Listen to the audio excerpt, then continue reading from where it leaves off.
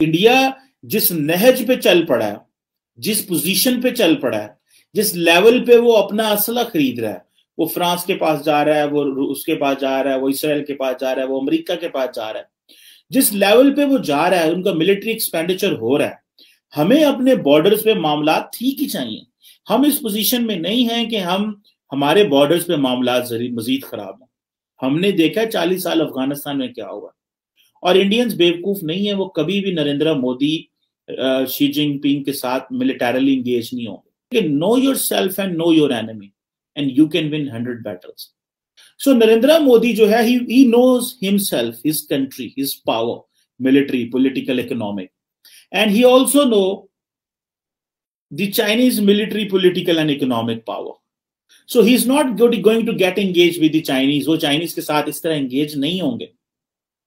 हाँ नरेंद्र मोदी ये समझते हैं कि हम जो रूस पे इन्वेस्टमेंट कर रहे हैं, उसका फ़ायदा उठाएँ। लेकिन वो वो चाइनीज़ के साथ मामला खराब करके अपनी जो ग्रोथ है स्टेबिलिटी है, और जो पचहत्तर साल नॉन अलाइंड रह रह के, वो जो डिविडेंड्स थे, वो नहीं वजाया करना चाहते। बिकॉज़ उनको पता है, इन्हीं डिविडेंड्स का हमें फ़ायदा होना सो so, ये जो समिट आ रहा है इसी समिट है रेडी रशिया इंडिया चाइना की जो समिट है ये summit basically it's a breakthrough ये वो ब्रेक थ्रू है जो इंडिया जो है इंडिया को मिल रहा है। और ये रशिया ब्रेक थ्रू करा रहा है।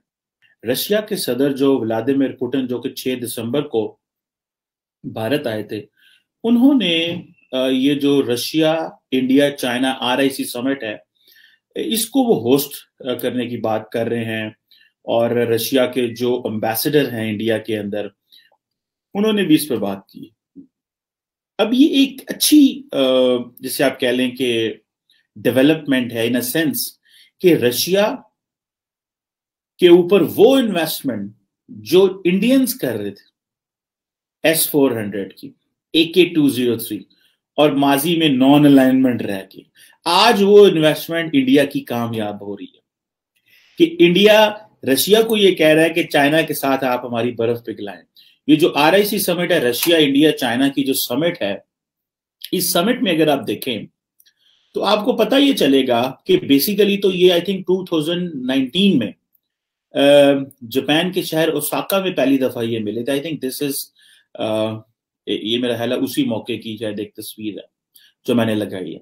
देखें कैसा कैसा निज़ाम है कि एक वक्त था कि Indian prime minister Modi Chinese और रशियन के बीच में खड़े हैं और एक वक्त ये आ रहा है कि रशियन प्रेसिडेंट पुटिन जो है वो चाइनीज़ और इनके बीच में खड़े होते अब पूरी दुनिया एक काम कर रही है, वो ये कर रही है, वो कह रही है कि हमें समझ नहीं आ रही कि चीनी सदर को कैसे डी कोड करें। डी कोडिंग शी जिंगपिंग ऊपर से जो रशियन और चाइनीज़ के दरमियान ये जो कन्वर्जेंस है, इस कन्वर्जेंस को कैसे रीड किया जाए?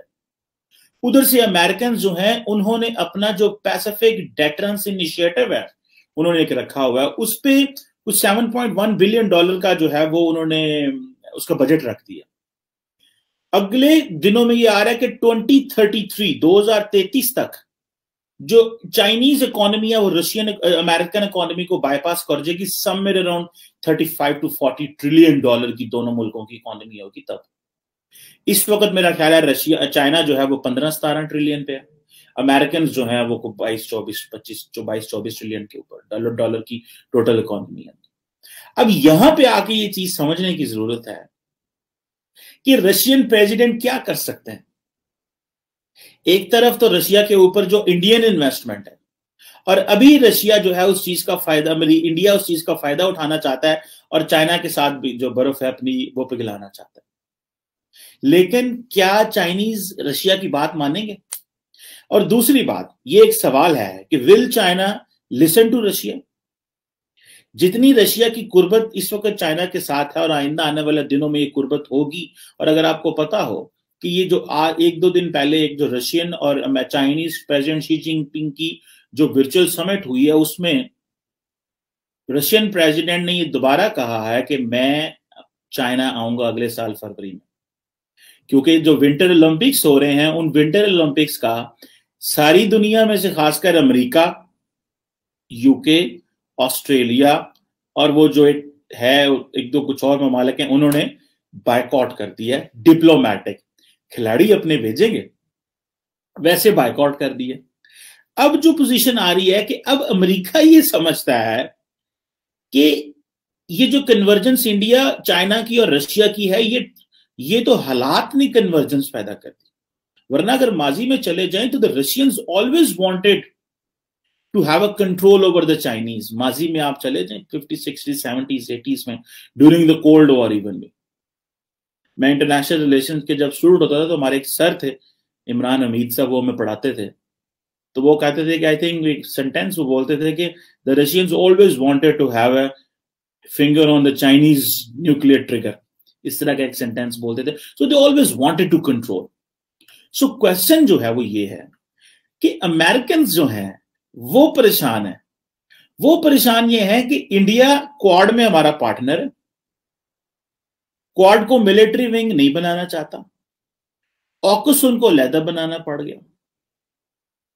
बायलैटरल जो इंगेजमेंट है टू प्लस टू बी का, और जो बाकी सिक्योरिटी अरेंजमेंट वो इंडिया के साथ कर रहे हैं।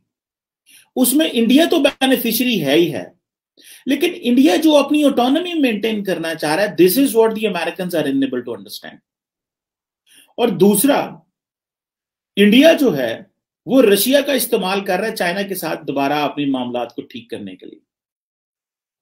दोबारा अपने चाइना के साथ मामला को ठीक करने के लिए। अब अमेरिकन ये समझते हैं कि शायद चाइना जो है, इंडिया जो है, वो कॉन्टिन्यूसली उनके साथ गेम कर रहे हैं। लेकिन इंडिया जो है, वो अपनी वो जो स्ट्रेटेजिक ऑटोनॉमी है, उसको वो कॉन्टिन्यूसली मेंटेन करना चाह रहा है। शी जिनपिंग जो है, वो ज़्यादा, वो जो अपना कल्चरल रेवोल्यूशन ले, को लेकर के और एक वर्ड बोलते हैं कॉमन प्रोस्पैरिटी कॉमन प्रोस्पैरिटी एक जो कम्युनिस्ट पार्टी ऑफ़ चाइना का एक जर्नल है, उसको थेरेटिकल जर्नल बोलते हैं। आई थिंक उसका नाम है Qiushi Q U I S H I I don't know उसको चाइनीज़ कैसे प्रोनाउंस करते हैं, लेकिन मुझे जो ऐसे समझ है क्विशी उसमें एक रिसेंटली आर्टिकल आया था कॉमन प्रोस्पैरिटी पे। उसमें वो कहते हैं कि जो मुल्क है, उसको आइडियोलॉजिकली पॉलिटिकली फाइनेंशियली ये कॉमन प्रोस्पैरिटी करनी है। सबको साथ लेके चलना है।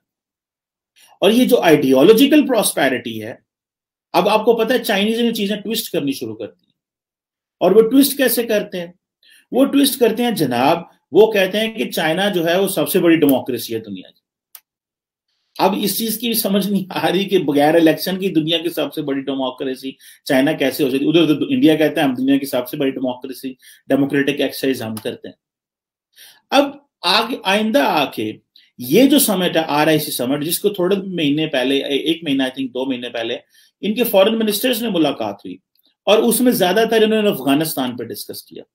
लेकिन क्वेश्चन ये पैदा होता है कि पाकिस्तान जो है, क्या वो चाइना के, को रोक सकता है? कि वो इंडिया के साथ इसमें ना इंगेज हो? सवाल ही पैदा नहीं होता। हम कैसे उनको रोक सकते हैं? लेकिन अगर पाकिस्तान अमेरिका के डेमोक्रेटिक समिट में नहीं जाता तो चाइनीज़ जो है वो नारे मारते हैं। और चाइनीज़ जो है वो अपना उनके जो फॉरेन ऑफ़िस के लोग हैं वो ट्वीट करते हैं और कहते हैं, हमारी बड़ी अच्छी दोस्ती है। हाँ थोड़ा अर्सा पहले जो एक नेशनल सिक्योरिटी एडवाइजर की हुई थी समिट हुई थी, उसमें पाकिस्तान नहीं गया था, चाइनीज़ भी नहीं गए थे। लेकिन दोनों ने रीजन अलग अलग बताई थी।